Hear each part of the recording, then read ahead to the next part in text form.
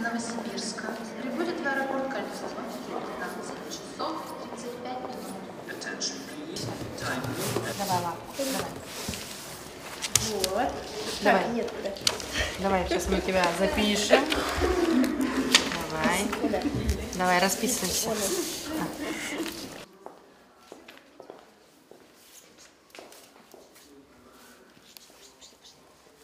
По терминалу патрулировали. Пришли за компанию. Да, нормально, он любит людей.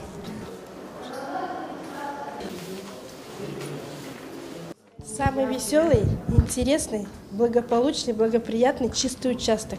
Нас радуют пассажиры, которые вдруг летали, летали, летали, сегодня захотели проголосовать. Вот. Открепительных нет. Мы выходим из положения, что делать? Голосовать хотите, пожалуйста, голосуйте. Есть у нас закон, как им проголосовать. Ну, а большая часть у нас избирателей, конечно, сотрудники линейного отдела, пограничная служба, таможенная служба, летный состав и предприятия, работники аэропредприятия, это значит уральских авиалиний, и какие тут находятся у нас авиалинии, те все приходят и голосуют. Если их смена совпала в день выборов. Я могу проголосовать там, где я работаю. Если я не имею возможности выехать в город, там проголосовать по месту жительства. Конечно, удобно. Служебная командировка. И знали о том, что вы так Да, да, конечно, знал, за вечера взял талон крепительный, чтобы проголосовать. Ну, Всю жизнь голосую, никогда не выпускал.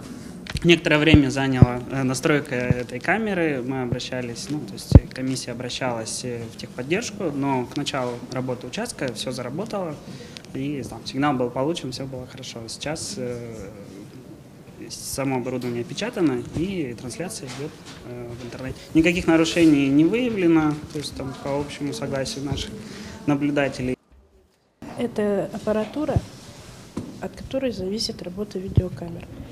То есть э, э, там есть диск, на который записывается все, что происходит в зале для голосования.